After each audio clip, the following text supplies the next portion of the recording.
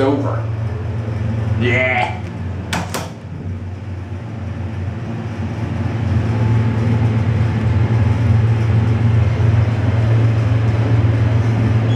It's at the School of Education.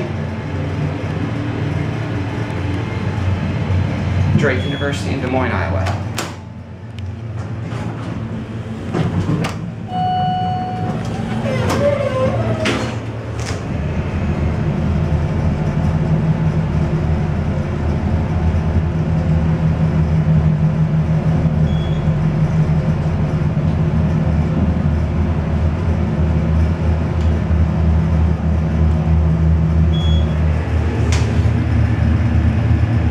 This has been around for a while.